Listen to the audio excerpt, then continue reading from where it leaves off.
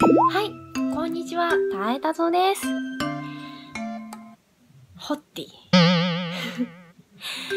はい、今日、え皆様にご報告があって動画を撮っております。実は、また、たえたそ家に家族が増えました。ということで、ご紹介したいと思います。アルギレス平田クワガタちゃんです。イエーイ。見えるかな？ちょっと。あの、これですね。あ、見える反射してるけど。めっちゃ原価映ってるな。反射してるけど、このアルギデス平田クワガタという。えー、買っちゃったよ。ちょうどホームセンター行ったらですね、えー、これで、えっ、ー、と、7センチぐらいの大きさなのかな、アルギデスちゃん。めっちゃ可愛くて、買ってしまった。玄関が反射するけど。あー。すごい、もうね、さっき私、部屋、部屋っていうか、部屋じゃない。虫かごを掃除していたらね、手挟まれた。指。これ色違くないですか？ちょっと。ちょっと濡れてるけど。これめっちゃ腫れてんの。すっごく凶暴。マジ凶暴ですね。ほんと怖い。わーアルギです、平田。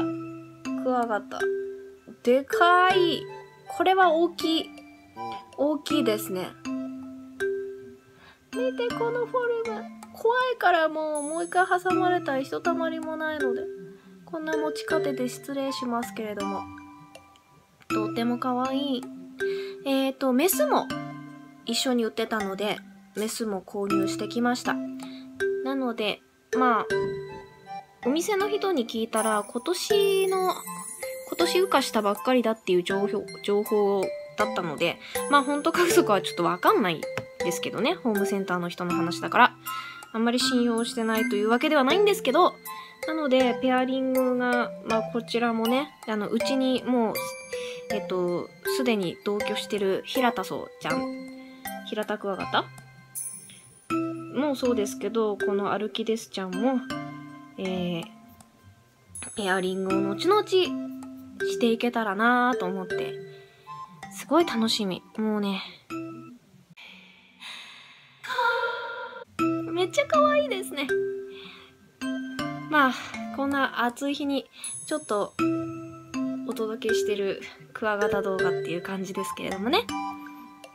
うん、なんか、ちょっとね、ダニがね、結構付着してるので、ダニをブラシで落とそうかなと思ってんですけど、私、めっちゃ挟まれたんで、結構凶暴ですね、歩きですちゃんね。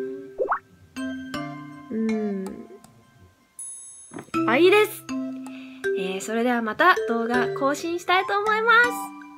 ぜひチャンネル登録もよろしくお願いします。よければ高評価ボタンも押してね。それでは皆さん、バイチャ